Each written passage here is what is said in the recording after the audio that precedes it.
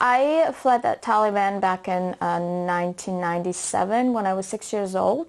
Uh, moved to Uzbekistan and um, I finished my schooling, somewhat I finished schooling, um, and then uh, 2007 of November, when I was 16 and a half, we arrived in uh, Concord, New Hampshire.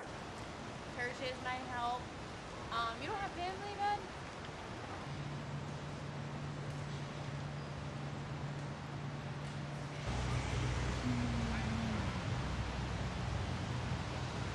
One thing a younger generation could do is the energy that you have, you want to be the advocate for um, seniors and young people and working families. And my district, uh, 99% I would say, has more seniors, and seniors are backbone of our country. So um, that kind of like show, you know, the people in my district that, you know, we have someone young and willing to work hard for on behalf of them.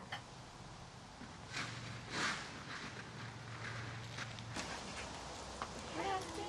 Hi. I'm Safiya Wazir.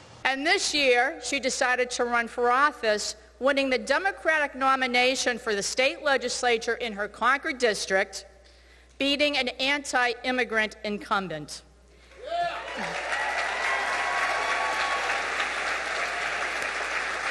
So take that, Donald Trump.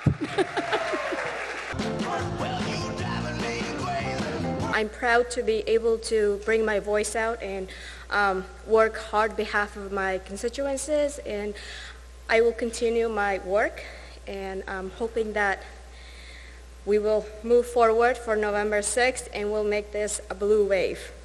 Thank you all.